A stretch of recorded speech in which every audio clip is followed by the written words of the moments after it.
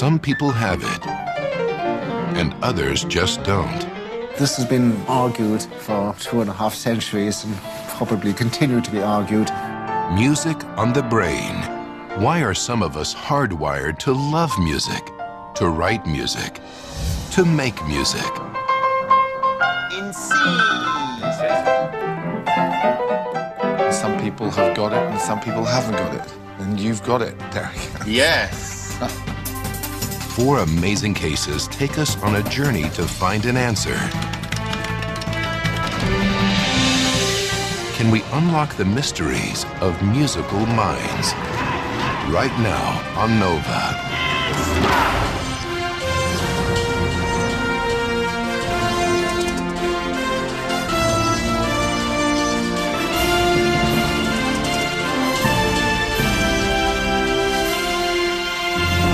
Major funding for NOVA is provided by the following.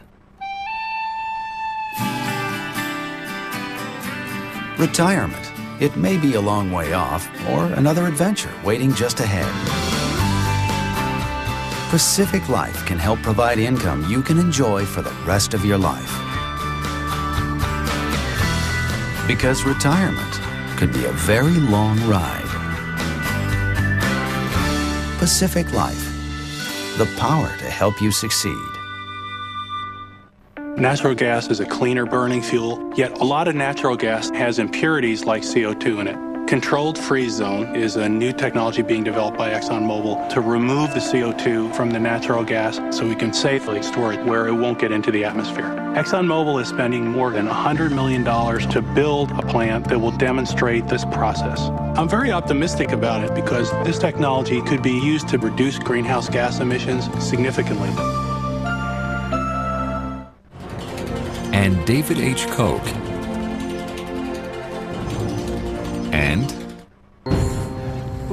Discovering new knowledge. HHMI.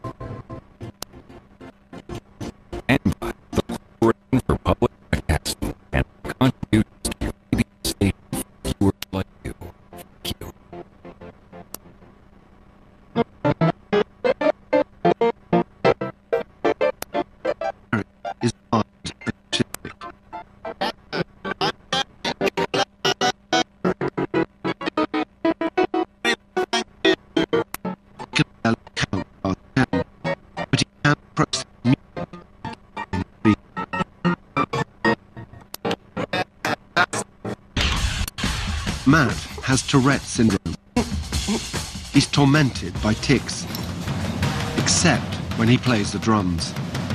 So it's almost like like my brain was a puzzle, right? And some of the pieces were not in place. And all of a sudden, everything just kind of clicked. Tony is an orthopedic surgeon who had no formal musical training. One summer day, he was struck by a bolt of lightning. He's now a composer and performer, playing to sell out audiences. I thought that the only reason that I was allowed to live was because of the music.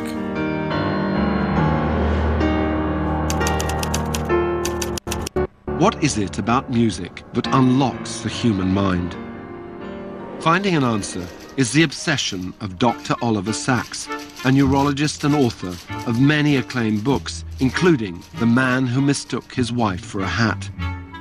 His books are filled with the compelling stories of his patients, ordinary people coping with extraordinary neurological conditions. His book, Awakenings, based on the work he did with catatonic patients, was made into a film starring Robert De Niro and Robin Williams. In his latest book, Musicophilia, he explores the connection between music and the human brain. What came first, then, music or language? Um, well, this has been argued for two and a half centuries and probably continue to be argued. Various people, from William James to Steven Pinker, have seen music as as trivial, but I think it's uh, difficult to match that up with the fact that music occurs in every culture that that we know of, has a central role, or many many central roles. At what point does the fetus, do you think, develop a sort of sensibility to music? This is really anecdotal. Um, certainly, some of my musical friends who played Beethoven uh, when the fetus was in utero then, then insist that the child is fond of Beethoven or fond of rock music. I mean, certainly, sound will get transmitted to the fetus. I have had music every day of my life. I think, as far as I can remember. And I would really feel starved if I didn't have music available. I think one can develop musically all, all through life.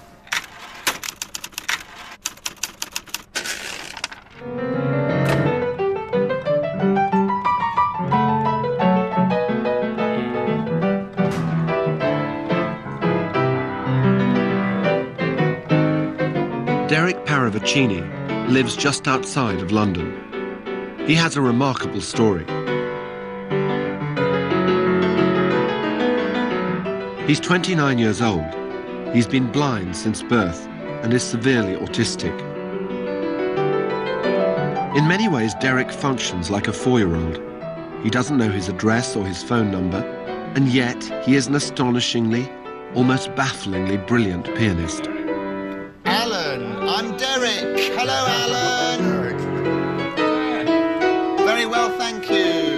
Nice to be here, Derek. Is that especially for me? Yes. Derek is a music poet, and a great deal of his brain power is dedicated to hearing, processing, and creating music.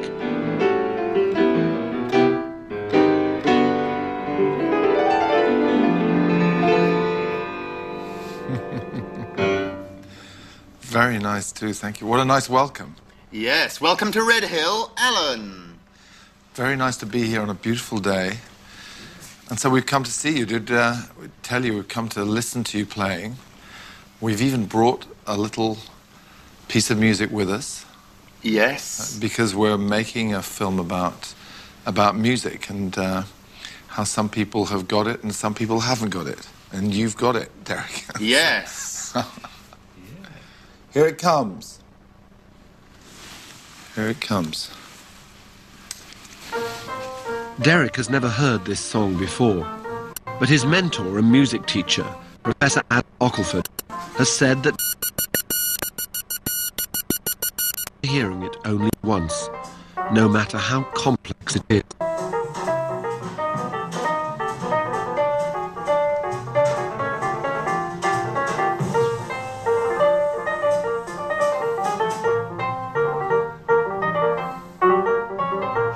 Want to try it without the CD?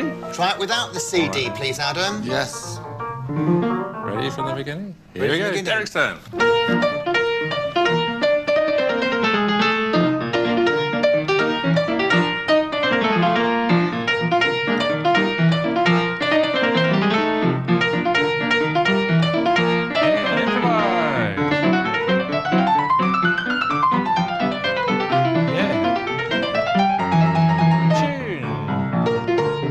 Only does Derek play the piece back, note for note, but his ability to improvise and play around with the melody is simply stunning.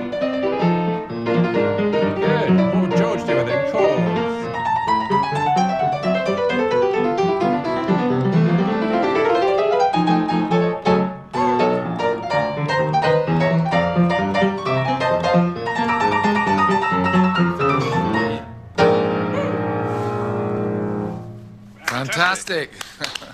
yeah. My God. so what do, you, what do you make of that, Adam? you see it. was pretty good. Yeah, you got yeah. it, didn't you, Derek? What yeah. sort of style was that in, do you think? Uh, George Shearing. Yeah. George Shearing. Sort of beboppy kind of style. Kind of bebop kind of style, yes. Yeah. Derek was born three and a half months premature and weighed only one pound five ounces. The oxygen treatment he was given to keep him alive left him completely blind and with chronic learning difficulties. Even today, he has trouble counting beyond 10. But when Derek's parents discovered him playing the piano at the age of two, they knew there was more going on inside his head than the doctors had ever imagined. Suddenly they realised, of course, that inside that brain where they thought not a lot was going on, actually Derek was mapping out his musical world completely perfectly. It was just extraordinary. When he was um, about four, four and a half, his parents brought him to a school for the blind where I was teaching. And uh, I was just teaching a, a, girl called Kelly, and we were working away. And suddenly I was aware that uh, being shoved in the back, and a tiny little Derek had, had run across and uh, uh, pushed me out of the way and just started to play. Just so motivated to make music, even at, at that stage. Of course, he had the most tiny hands. He could only reach five notes, a fifth. And somehow he he taught himself, don't, don't Cry for Me Argentina, he was playing. But not just the tune, being Derek, he was playing scales and arpeggios, using his elbows and everything to, to get the notes in. Do you remember that? I do remember Derek? that, yes. Mm, you were very little. Yeah, we were talking this morning, weren't we, Derek? When you were two, what happened? Um, um, I started to play Argentina.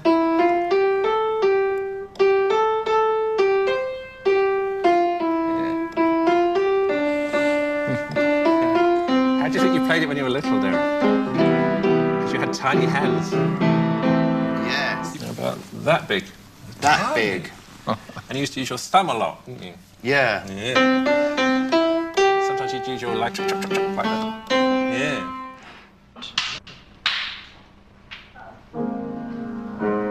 Since he was a child, Derek has attracted attention for his unique ability. Are you ready? But although his brain can process music at lightning speed, it took Adam years to teach him the basic fingering skills. Even today, Derek still doesn't really know his, his fingers from his thumbs in a, in a way. If you say, you know, which is your left thumb, he, he, would have difficulty with that. But of course, the minute it touches a keyboard, it's a different matter. He, he's completely at one. But the only way to show him um, how to play scales and arpeggios and so on, the sort of stock in trade of any pianist, was physically to for him to feel my hands and for me to physically guide him on the keyboard. And I thought it would take a month or two, but it actually took years and years because, in that respect, the learning difficulties were very apparent.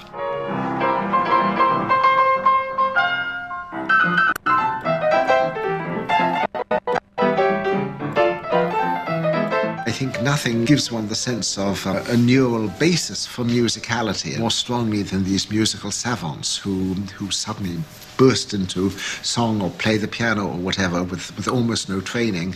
Although clearly, um, you know, exposure to music has been important.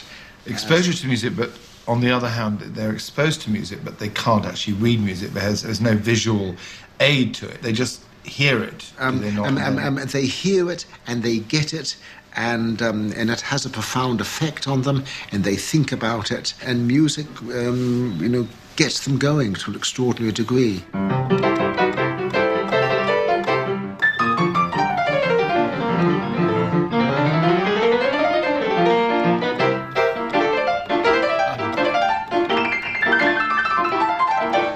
Yeah. Can you twinkle Twinkle in that style? I can do Twinkle Twinkle in that style.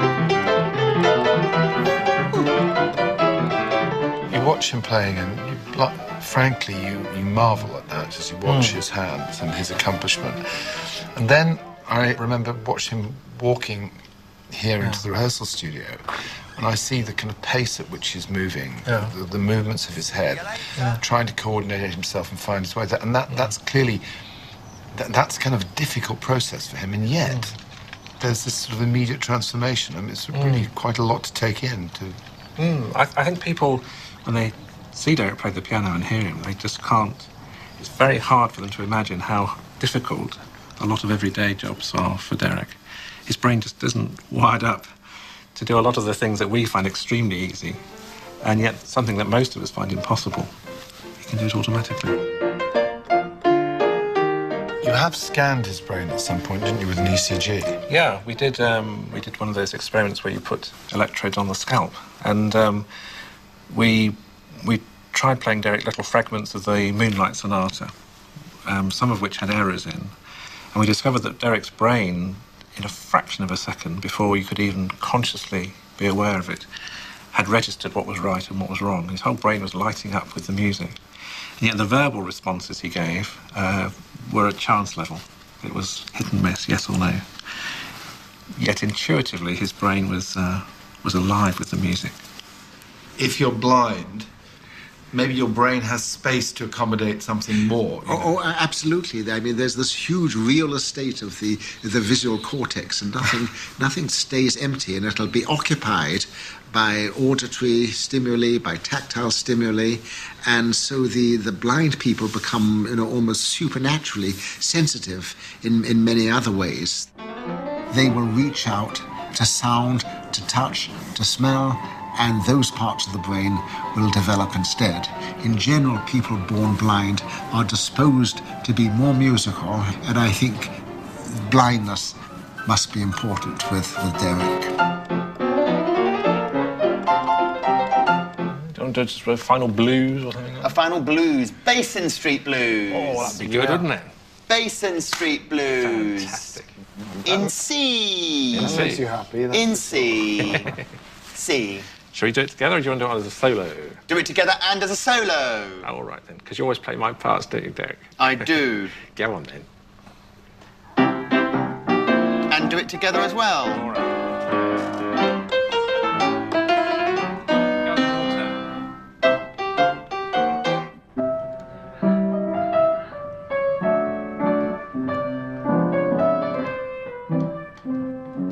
Although fascinating people like Derek are at the heart of his writing, in his latest book, Oliver Sacks turns a lens on his own life. He was born in London in 1933, the fourth and youngest child of two doctors, themselves the children of Jewish immigrants. Going back to your childhood, your parents were both medical practitioners and they were very, very musical. Is that right?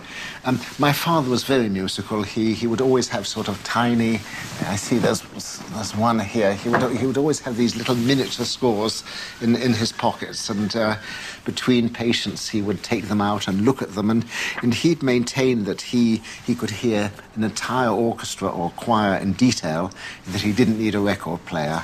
I, um, You mean he would, he could just hear it in his head? um, he could hear it in his head, and particular instruments could be emphasized, and he could mentally conduct it. I, um, I was in awe of this. My mother was the opposite. She could hardly hold a tune in her head, um, although she was fond of music and she loved Schubert. She, she loved singing.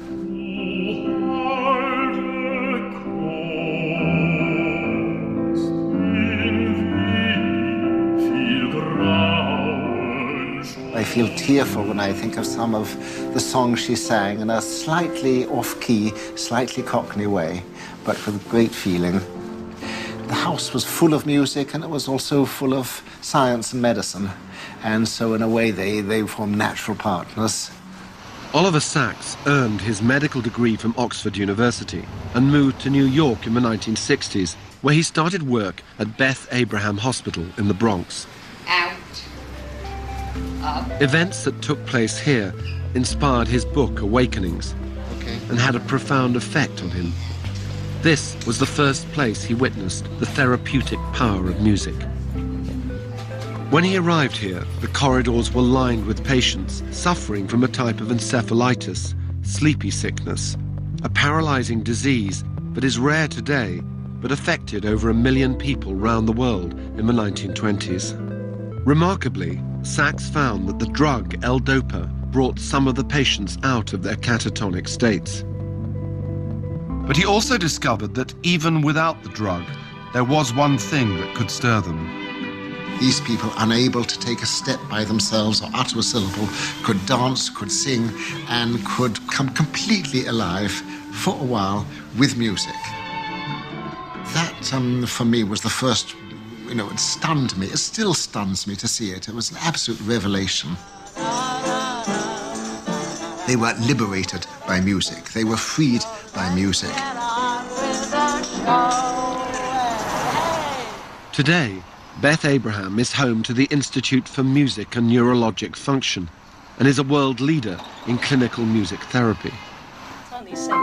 The basic idea is that music can help recover damaged brain function by activating parts of the brain that are nearby. Sacks serves as a medical advisor to the Institute. Its motto, Music has Power, attracted the usually reclusive musician Moby to become a patron and board member. It seemed borderline absurd and miraculous. Like I couldn't believe it, you know, that like people who can't speak are able to sing and people who can't walk are able to dance. Like I mean, it, it seemed, I was like, is there some sort of messiah involved in this? What they're doing at the institute, the way they're almost rewiring the brain. You know, like if you have a damaged part of the brain through music therapy, but you're able to almost sort of like reroute around the damaged part. The way the brain can sort of very adaptively rewire itself, it really is miraculous.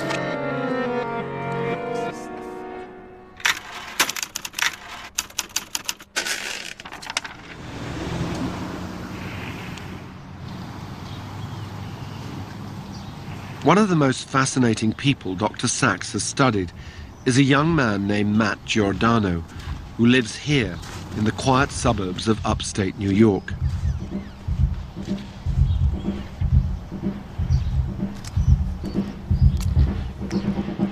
But Matt's house is anything but quiet.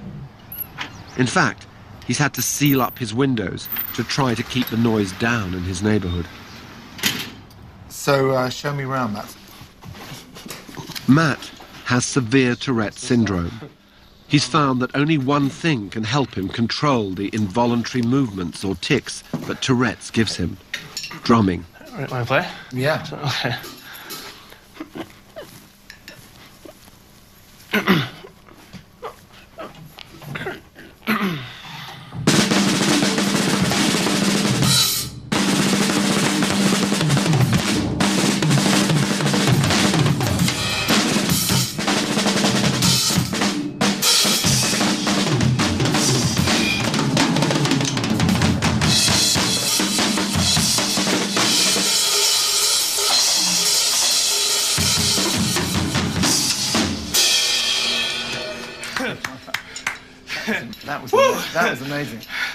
how do you feel now? How? Feel better. Feel uh, taste kind of washed them out a little bit there. I have some drums down here too. Basement's a little bit of a mess. I apologize. it's a basement. Can you play those for us at all? yeah, I have to set it up real Yeah, quick. set it up a bit. Matt's now 26, but the discovery that he had a natural ability to play drums came one day when he was two years old and heard the Moody Blues song, I'm Just a Singer in a Rock and Roll Band.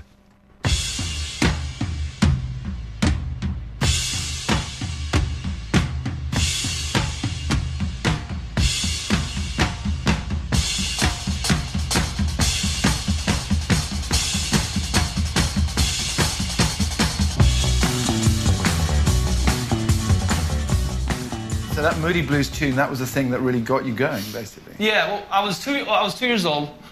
Um,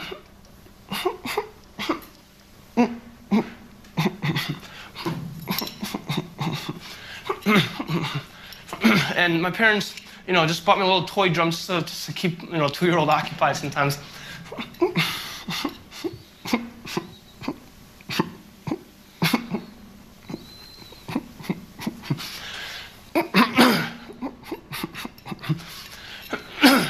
So they, they were listening to Moody Blues on the record player. Um, huge Moody Blues fan, Moody Blues fans, and uh, so they were in the other room, and that song "I'm Just uh, Just a Singer in a Rock Band" came on, and all of a sudden they noticed I'm playing right along with the drums at two years old. So they kind of recognized I had a natural um, ability and gift at playing the drums. Do you know how to play that? back into that. I, I, I think I might remember maybe a little bit. I'll give it a whirl. Mm-hmm.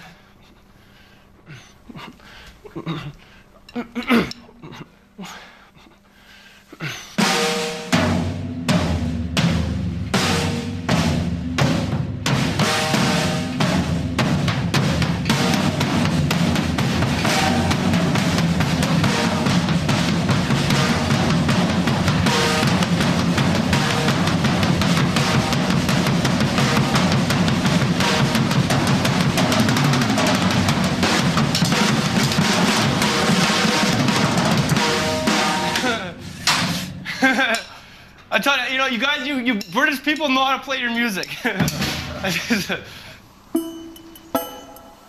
The discovery of Matt's gift for drumming coincided with the first tics of Tourette's, as well as other psychological issues.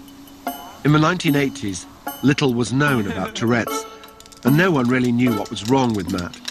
Not even his parents, Kathy and Tony.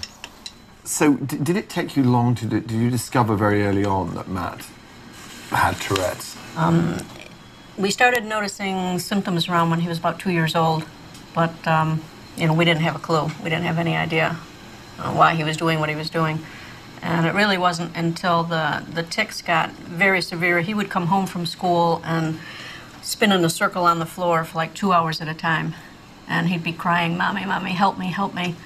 Um, but if I tried to stop him, he would get angry at me because he needed to, you know, complete the tic. So that was when we brought him to the doctors and got him diagnosed. What what were the symptoms besides obviously the, the ticking and the lack of coordination? But there was also the anger, wasn't there? Anything could set him into a rage, and it was very destructive. He broke windows and kicked holes in walls and broke our windshield in the car, and it was dangerous. It was dangerous for him, it was dangerous for our family members. But he's always been the sweet kid that he is now. Um, you know, when he wasn't in a rage, just the gentlest, kindest, most wonderful person. I mean, there was a period when he had to be sort of taken away from home, wasn't it? When he was he was sectioned essentially between the ages of about eight and twelve. I mean, was it that bad? Yeah, it was that bad. He was either going to um, kill himself. I, I walked into the kitchen one day and he had a, uh knife pointed at his chest because um, he knew um, that he was violent against Tony, um, was violent against me, um, violent against his brother and sister. And like I said, he's a sweet, wonderful, gentle person. And to have that other, other part of him that he knew he was upsetting the family that much um, was destroying him. Matt was given medication at age seven and was in treatment away from home for over four years. It was during this time that he found his talent for drumming could help him control his Tourette's. At school, he stopped being the weird kid with these tics, and he started becoming the drummer. It was very good for his self-esteem. I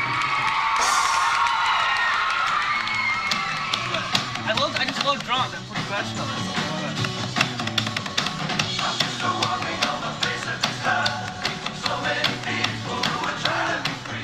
Music demands focus. The Tourette's doesn't so much go away as I think its energies get focused and channeled and can even form a source of strength or energy. But it is the organization, the order of music, which is their great sort of bastion against chaos. I mean, people are trying to work out whether music, uh, neurologically, whether that affects the brain and, you know, in a way, the emotions Oh, as well. absolutely, absolutely. I mean, I don't. I mean, I don't. I don't, I don't know if there's proof or not, but I mean, how much proof do you need to realize this is pudding? you know, this proof is in the pudding. I was playing this this this rhythm in a very balanced form of my body, a very balanced form of tempo and everything else. Like it was almost like like my brain was a puzzle, all right, and some of the pieces were not in place. And all of a sudden, everything just kind of clicked in, in, in, the, in the two hemispheres of my brain. And I literally felt it like this. I, I, was doing it, and all of a sudden it went about this fast, and, it- and it kind of just clicked into place, and it literally went down my entire body about that fast. And and it, and, and, I, and I, it was a very uh, very symmetrical balance of, of my of my entire being. When that happened, it was it was amazing. Can you imagine your life without without music? I would go bonkers. I, I, I probably wouldn't be here, literally.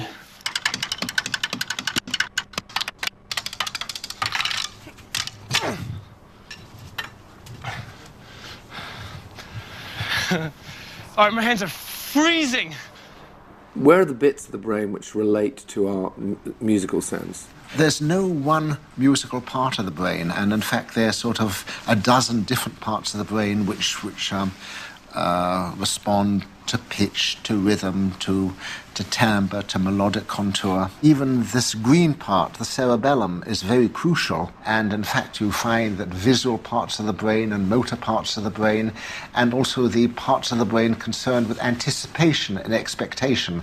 I mean, because one doesn't listen to music passively, uh, one sort of decodes it as one listens, one sees where it's going, one has expectations. Processing music requires the orchestration of many regions in the brain, a neurological feat that science is just beginning to understand. Pitch, volume, timing, and so on are each analysed separately and then combined together to create a musical experience. At Columbia University, a team of scientists helps us see the brain of Oliver Sacks on music.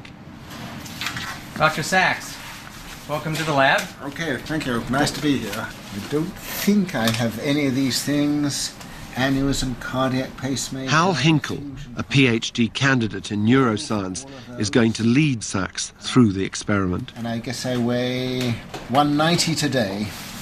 Wonderful. I better put pounds in case they think it's kilos. Thank you. Okay. Good. Right. For the test, he'll first be asked to listen to a piece of music. It's one he's familiar with Diversions by Joseph Horowitz. He even has it on his iPod. Then he'll be told to imagine the same piece playing in his head. If you'll just take a seat for a moment. We're going to peer inside his brain using functional magnetic resonance imaging, or fMRI. An fMRI scan shows changes in blood flow in the brain, so we can see which regions are active. We're going to do two sets of scans. The first set of scans, we're going to be asking you to listen to music, and then we're going to ask you to imagine that music. I look forward to it. I bet you do. First, Sacks listens to the music.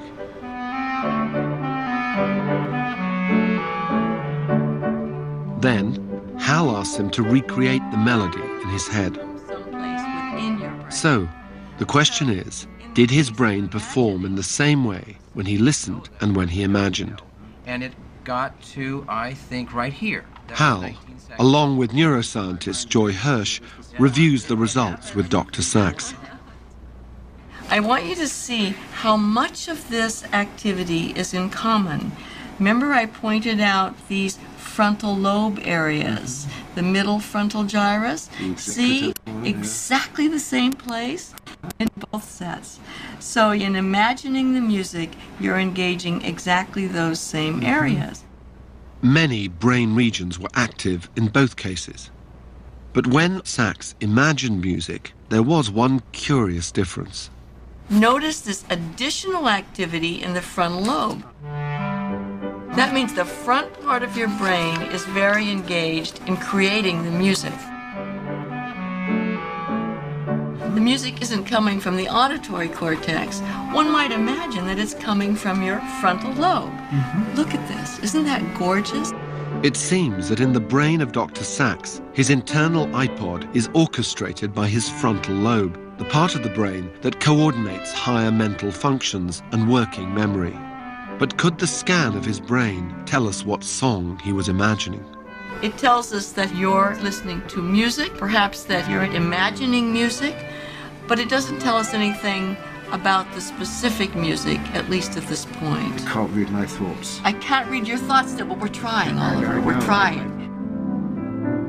For musicians, imagining music can also activate motor regions of the brain.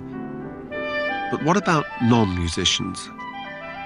So, Oliver, there's this broad question of are all brains musical? Well, I've certainly spoken to a lot of people and corresponded to a lot of people.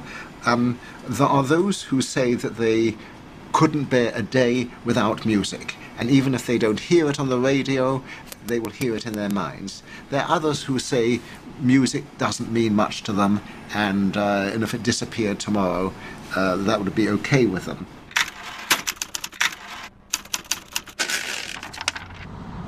Even if you can't play classical music, many of us can appreciate a beautiful piece of Chopin. But imagine what life would be like if our brains couldn't make sense of the music we hear. And what if we didn't understand why that was happening? If you're Anne Barker, music just sounds like an ugly noise. So what about a nice bit of Chopin then? No, I um, no, I would never choose to listen to Chopin while in the car. It's not my idea of fun. That would be really irritating. I think I'd have lots of accidents if I listened to Chopin. What does the piano do for you then? What's it? What's the sort of? I think it's the thumping of the of the um, the keys that irritate me. It's very. I don't get any pleasure to listen to the piano. It's it's an irritating sound, um, particularly classical piano. Anne has a rare condition called amusia. Although her hearing is normal, she has the musical equivalent of colour blindness. You can be deaf to music and to different aspects of music. You can be deaf to pitch. You can be deaf to rhythm. Or even if you hear pitch and rhythm normally, you may be deaf to melody, not just not catch melody, or deaf to harmony. And all of these things are called amusia. To make matters worse, Anne comes from an extremely musical family. Her parents even own a village shop which specialises in traditional Irish instruments.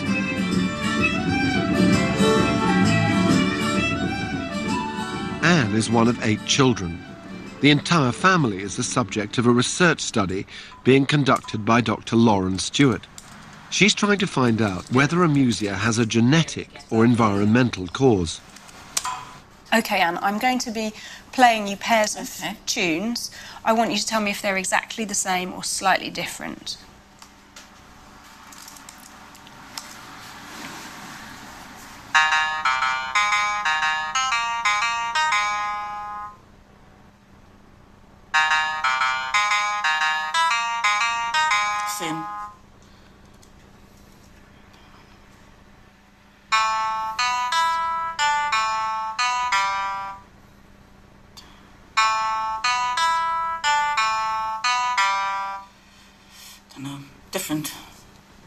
These I guessed. Yeah, don't worry, you're doing fine. Yeah, you're, you're guessing. You're doing good. You're cheating. No, you're, do, you're doing your best, though, Yeah, aren't you? yeah, I don't know if they're the same or different, Yeah, so, so yeah. I'll have to You have to have a go. I have to have a go. This is par for the course.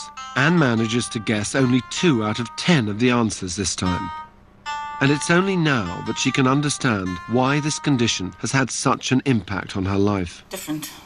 When you, as a kid or a teenager, you went dancing, did you sense that something was wrong? I got so many funny stories to tell about dancing. It's legendary. Well, tell me your dancing stories. My dancing stories.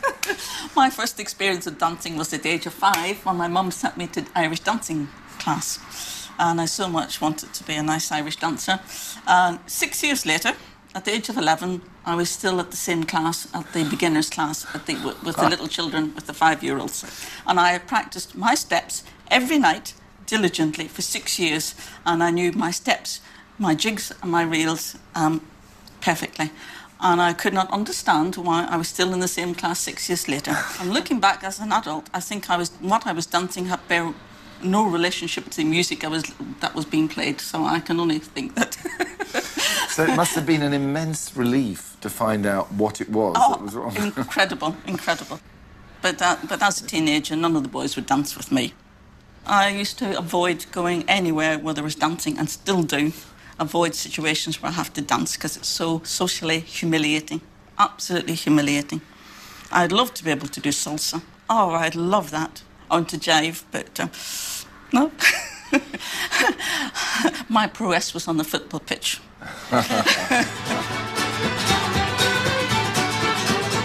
Despite it all, Anne still likes the social side of listening to friends and family making music down in the village pub. Her condition isn't as perplexing now that she understands the cause.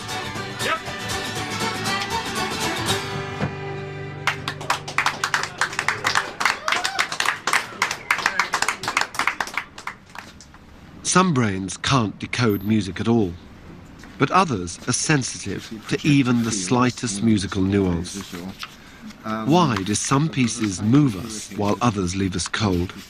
In general, I'm a Bach lover and have always been, you know, even when I was a, uh, uh, a kid, when I was five, I'm told that I was asked what my favourite things in the world were, and I said smoked salmon and Bach. and 70 years later, it's still pretty much the same. Most of us have music that we've loved since childhood. In fact, the music we listen to as children can have a profound effect on what we enjoy as adults.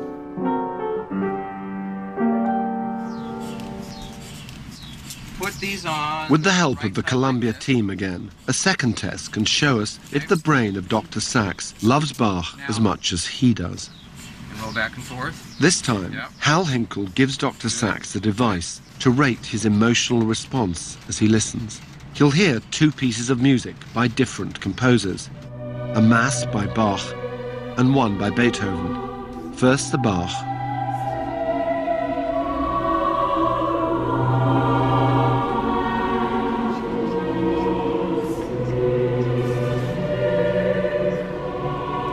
then the Beethoven. The composers are different, but the music has certain similarities, such as volume and tempo.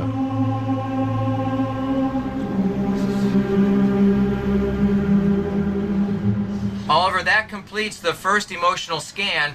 I would like to hear how that was for you. The, uh, the Bach sort of blew me away, uh, especially that point where the soprano came in and there was a wonderful harmonic modulation. But the Beethoven and played sort of left me flat. The results of the scan are in, and amazingly, they seem to confirm his feelings. What you can see just in an immediate uh, overview here is that this is your Bach brain and this is your Beethoven brain. Sorry, Ludwig. Yeah, sorry, Ludwig. There's not much there. Clearly, Bach excited much of his brain, including the many regions essential to appreciating the complexity of the music. But unlike Beethoven, the Bach activated the amygdala, buried deep in his brain and vital to processing emotions. Here we see large activity associated with the right amygdala when you're listening to Bach.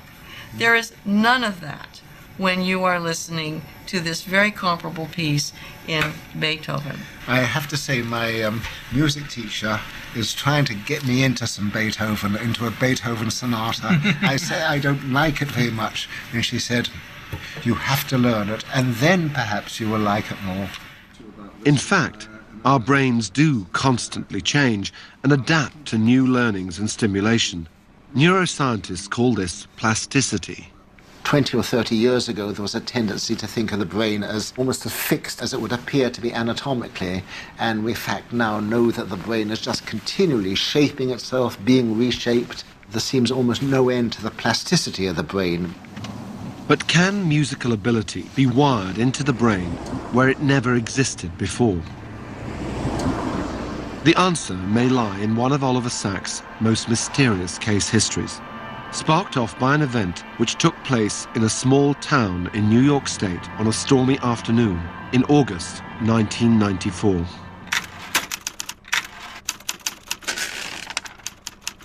I have never met another person with a story like Tony Cicoria's. Tony was 42, a former college football player who'd become a well-regarded orthopedic surgeon. Tony is a surgeon in, in New York State who had very little musical background or interest or taste or talent. Until, through a freak accident, being on the phone in a storm, he was hit in the face by a bolt of lightning, flung back, and uh, uh, and killed in a sense. He probably had a cardiac arrest. He had one of these strange out of body experiences, which one can have in these circumstances. Then he was resuscitated. He seemed to be pretty much himself. But then, three or four weeks after this, a strange transformation happened where he developed a sudden, insatiable passion, as he put it, for hearing piano music. And then for playing piano music, and then for composing piano music. This um, took hold of him and wouldn't let him go. 23 College Park Drive. He's playing music.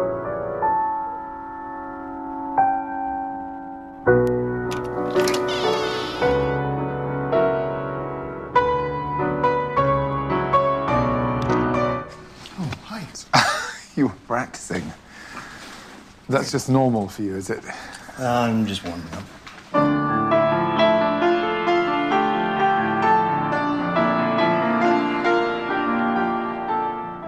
When did this change happen? When did this sort of compulsion for the music for the music happen? Within that first two weeks, um, I started to have a craving to hear classical piano music, which was unlike me. Um, I was a product of the 60s. I liked loud, hard rock and roll. um, you know, there wasn't much else. And then within a period, a short period of time, it wasn't enough to just listen to the music. I wanted to be able to play it. And magically, I, I just ordered all of the sheet music and was determined to learn it. But you couldn't read sheet music? No. But, and, you know, that's why it was magical thinking. And somehow it, was just going to happen. At the time, I was working full time as an orthopedic surgeon, 12 to 14 hours, long days. In order to be able to keep up with this possession that I had all of a sudden, I got up at 4 in the morning and I would practice until 6.30 when I had to go to work. And then I would um, come back from work and I would sit there until literally I couldn't see the pages. And unfortunately, the, the time that I sacrificed um, was any time that I had with my wife. My obsession with the music um, certainly was my contributing 50% to um, our marriage breaking up. Um, for a long time, I thought certainly that the only reason that I was allowed to live was because of the music.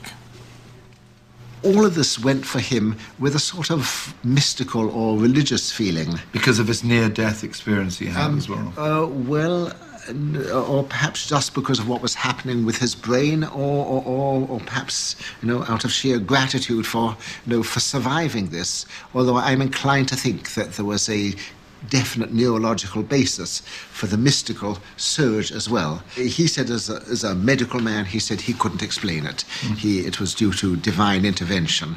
I wasn't quite sure how to respond to this, but I, um, I hope delicately asked him if he would allow that divine intervention might operate via the nervous system.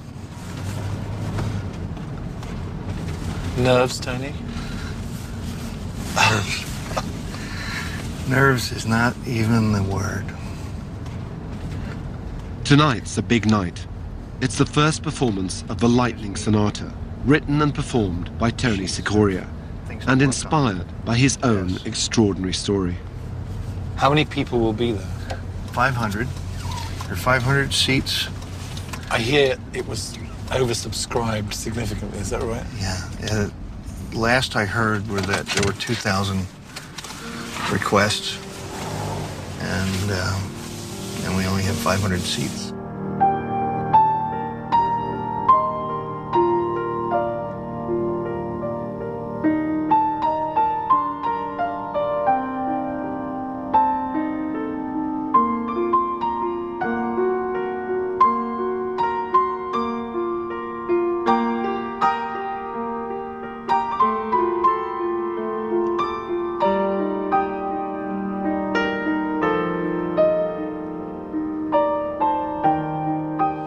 Ever think, well, at some point I'm going to have to make a choice between medicine and music?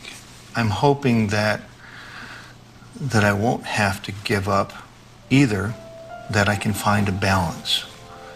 But I think the music is a much deeper part of me than what I do for a living.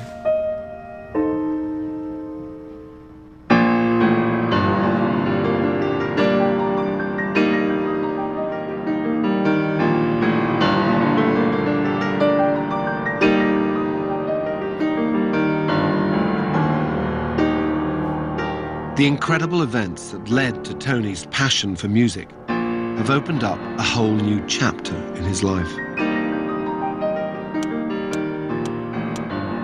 And as for Matt, he too has found a way to use the power of music to transform his life. Nearly all the children and young people in Matt's drum workshop also have Tourette's.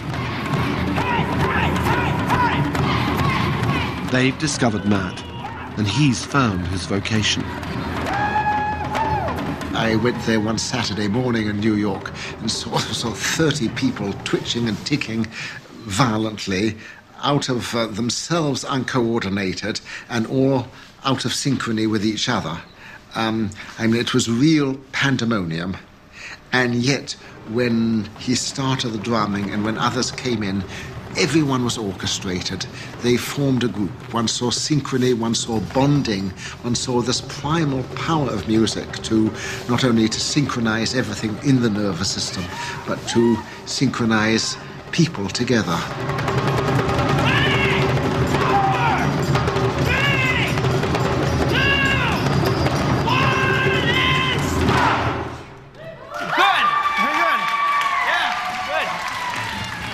And what about Derek? Challenged since birth by severe autism and blindness, how his brain works is still a mystery. And yet, his extraordinary musical gift is quite simply inspirational.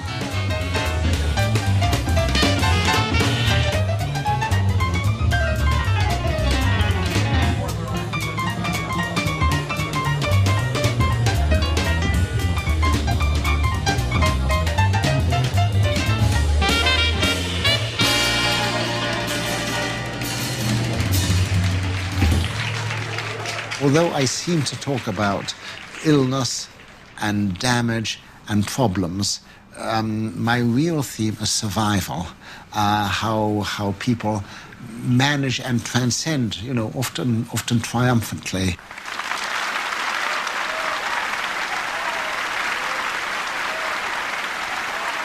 And I think this can happen with many people that music can somehow bring back the feeling of life when nothing else can.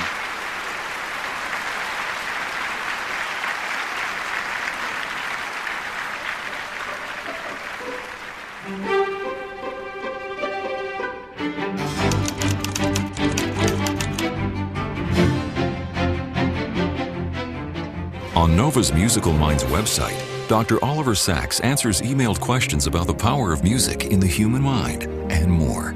Find it at pbs.org.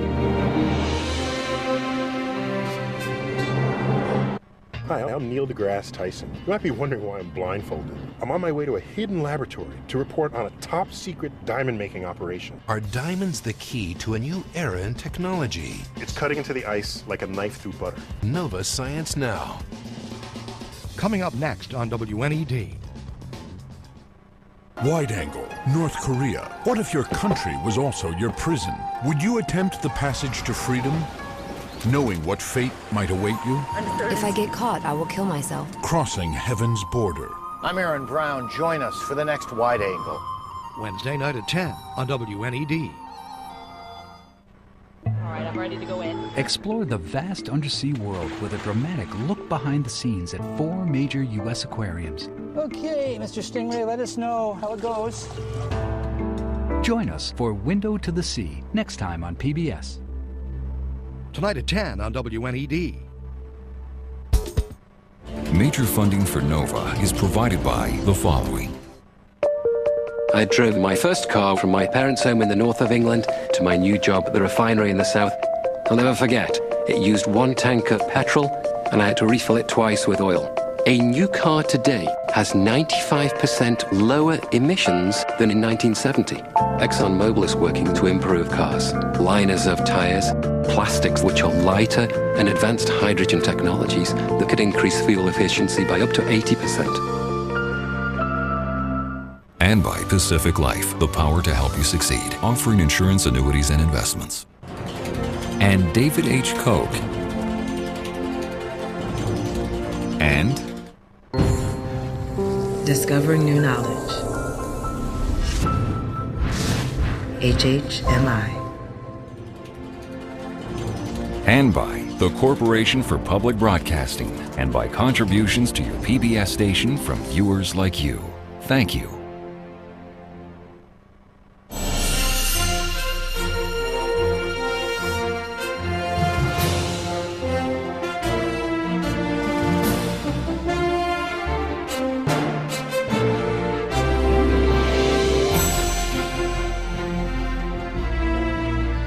Educators can order this NOVA program for $44.95 plus shipping and handling. Call 1 800 255 9424 or order online at shoppbs.org.